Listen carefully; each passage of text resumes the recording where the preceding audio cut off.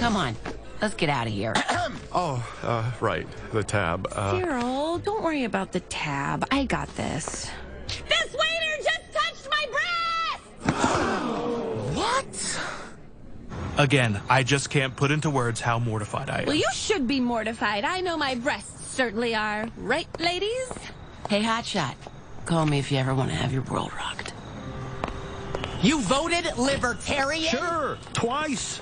Hey, I know seatbelts save lives, but who is the government to require me to wear one? Is there anything else you haven't told me? No. In my experience, you have to ask exploratory questions like, Robert, have you ever done anything that you're deeply sad about?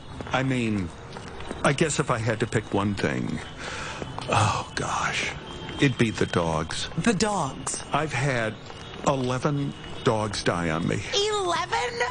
How is that possible? Well, you know, there's just a huge language barrier. Oh my god, what the hell is wrong with you?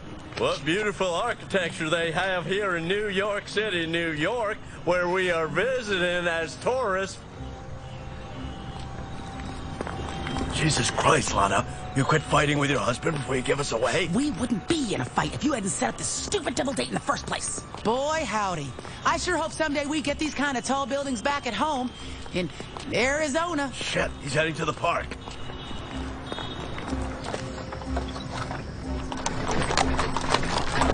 Follow that horse and step on it.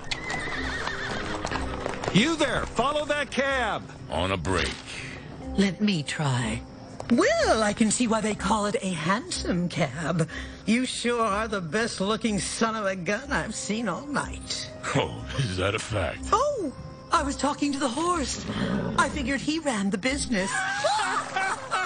Gosh, oh, that's good. Hmm, they seem to be in love.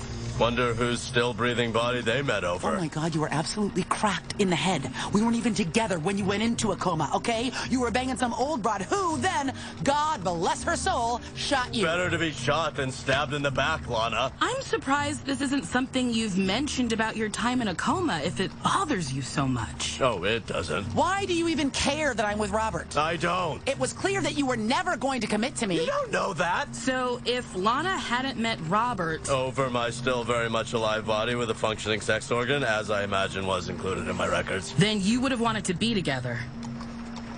Excuse me, whose ass do I have to kiss to get more hot cocoa back here? Coney Island? Look, I appreciate you guys bringing me here to cheer me up, but I'm a grown man. Oh, cheer you up. A waiter just touched my breasts, asshole. If you're in need of some cheering up, this is the place. Come on. Oh, look! Wacky mirrors!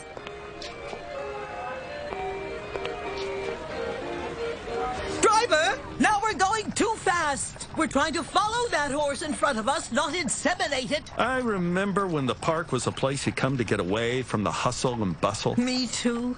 I had an aunt who'd take me here. We'd sit on a park bench for hours just chatting and throwing lit matches at the pigeons. My friends and I would feed the pigeons Alka-Seltzer, watch them explode. oh, yeah. Slow, the hell down.